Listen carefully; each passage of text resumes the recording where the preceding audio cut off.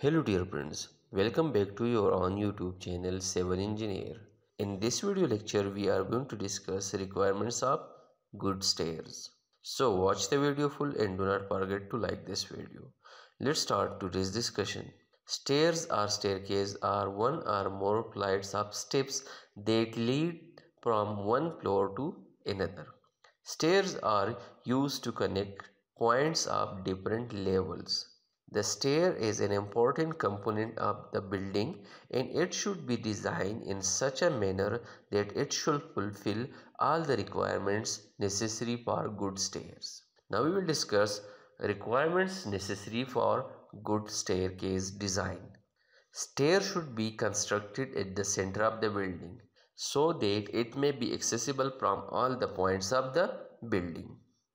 All steps of the stair should be of the same size and shape. The pitch or slope of the stair should be in the range of 25 degrees to 40 degrees. Pitch or slope is the angle subtended by the waist of staircase with the horizontal. The width of the stair should be such that two persons can easily use the stair simultaneously. So, the minimum width of the stair should be 3 feet or 85 centimeters.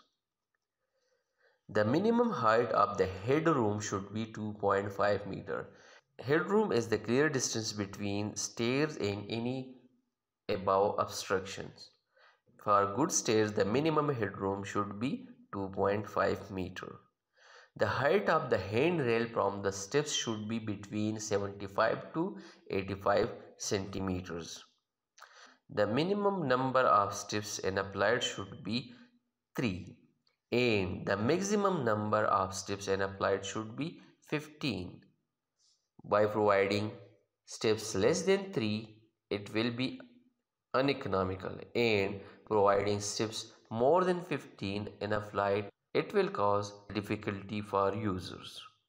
And stairs, strong and durable materials should be used. The materials of stairs should be rough enough to save users from slipping. There should be a proper arrangement of air and light within the staircase.